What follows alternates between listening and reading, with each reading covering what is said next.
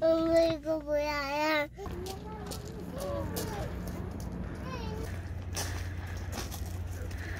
아이나 소윤아 이쪽으로 와봐. 아니 어디 갔지 아니니? 박승희 어디 갔어 박승희? 저희. 가지고 50 안녕하십니까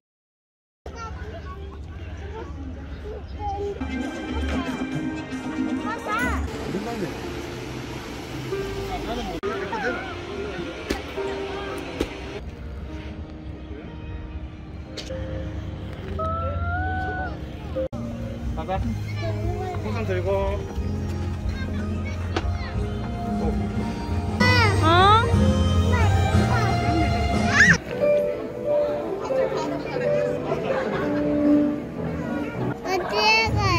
집에 가야지 또 보고 싶어. 또 보고 싶어?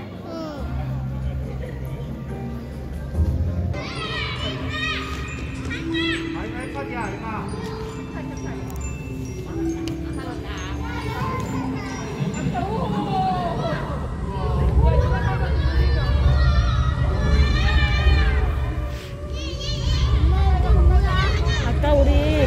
물속으로 들어가는 거. 이게 뭐야? 바닷속으로 들어가는 거. 와.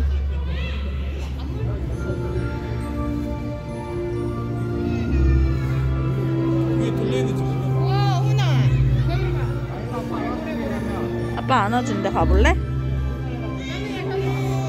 우와 저기 고래